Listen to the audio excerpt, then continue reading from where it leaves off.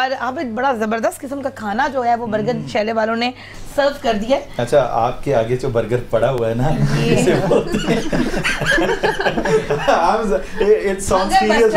Hunger buster और ये उफ अल्लाह माइटी बाका।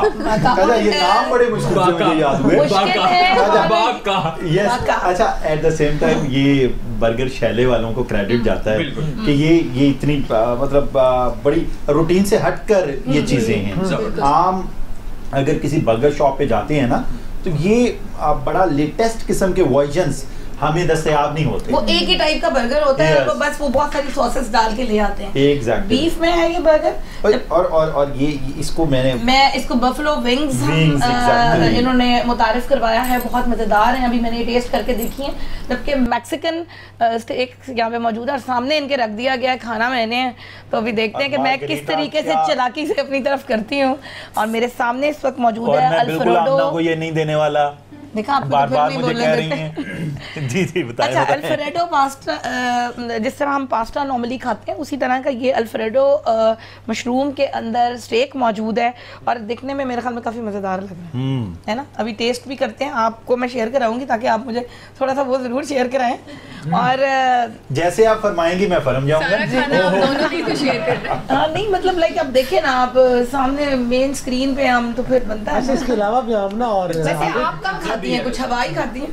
मैं खाती बहुत हूँ अच्छा है अच्छा, है। हुक्म करें आपके लिए सारा कुछ सर्व हो जाएगा। कुछ खास कहना मैं ये कहने वाला था एक तो जायका तो अच्छा है लेकिन प्रेजेंटेशन बहुत अच्छी है। हाँ। उसके पूरे नंबर मिलेंगे आपको और फिर इसकी जो खुशबू और ताजगी है ना वो भी नज़र आ रही है हर खाने में। आपको बिल्कुल ऐसा नहीं लग अच्छा रहा बर्गर शैले वालों के लिए क्लैपिंग कर दें। हाँ, आज शाम शाम अच्छी होगी। आज Definitely. ईद की शाम बड़ी खूबसूरत होगी। खाना अगर खुशबूदार हो और उसकी महक अच्छी हो तो आपकी भूख और ज़्यादा इश्तहाल आता है और आपका दिल करता है आप ज़्यादा से ज़्यादा और सबसे जो मज़े की बात यह है कि आपको पता लग जाता है कि कौन सा खाना हाइजेनिक है। बहुत साफ़ सुथरा है इनके किचन का हमने विज़िट किया है और इनके सारे एम्बियांस को देखा है। तो ये बहुत ज़बरदस्त है तो मेरे ख्याल में हम रेकमेंड कर सकते हैं। बहुत सारे लोगों को कि आप लोग बर्गर शैले जो कि वेलेंशिया में मौजूद है यहाँ पे ज़रूर तशरीफ़ लाएँ और आपको वाकई ही यहाँ पे आके बहुत अच्छा लगेगा।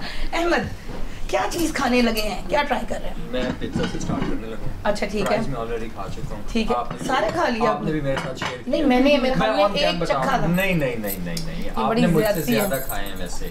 ऐसे ना करें। वो ज़्यादा ही खाएँगी? ओ ठीक है मैं उस तरफ़ नहीं नो आऊँगा कमेंट्स मैं उस तरफ़ नहीं आऊँगा नाजरीन मैं इस वक्त जो है वो ब्रोकली को खा रही हूँ मुझे बहुत पसंद है। ऐसा फ़ूड भी है जो ऑन कैम हम खा नहीं सकते ऑफ़ कैम नहीं खाएँगे। अच्छा, हैं। और। अच्छा मैं तो सहमा सबसे बैठा ज़्यादा क्या पसंद? मुझे मिंट मार्गरेट ओ लाइबा। लेकिन ये जो बीफ बर्गर है ना बीफ बर्गर ये बहुत जम है यकीन अच्छा, अच्छा, अच्छा। बहुत ज़बरदस्त। मुझे पसंद है बीफ बर्गर खाना। ईद का ईद का पहला दिन बहुत मज़ेदार हो गया। हाँ, गुफरान आप बताएँ। सारी थकावट उतर गई। यार यकीन माने कि अब देखिए अब खाने का वक्त है आप कैसी कैसी बातें पूछ रहे हैं। मैं आप जो पूछे आपकी भूख मिटी की नहीं?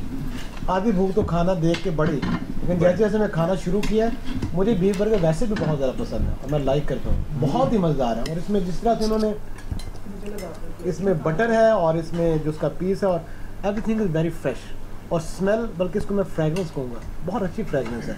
जिससे पता चलता है कि जिस चीज़ में इनको तला गया है वो भी बहुत ही आप अच्छा कह रहे हैं कि हाइजीनिक है बहुत एम्बियंस कमाल है हर चीज़ फ्रेश है और आपकी भूख और बढ़ गई। और बढ़ गया अब आप एक और बर्गर के खिलाफ साजिश नहीं बल्कि मुदाखलत करने हैं। कोशिश साजिश नहीं, करो मज़ाक। मुकम्मल दरअंदाजी कर दो मैं तो आपके जो स्टेक के अंदर प्रॉपर पूरी मदाखलत करने वाली हूँ। थोड़ा सा। जरा सर्व कर दें इस तरफ़ जी प्लीज़ प्लीज़